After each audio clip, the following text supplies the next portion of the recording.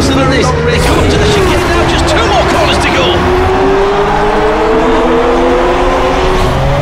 Here they come, barreling into the final corner. Leave nothing out there. You've got to be going for it now. It's going to be the master. The master has beaten him on the inside. I simply can't believe it. What a pass.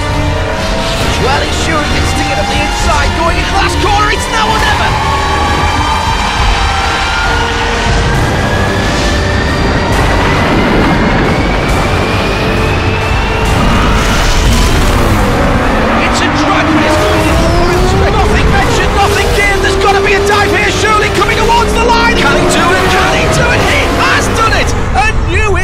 here!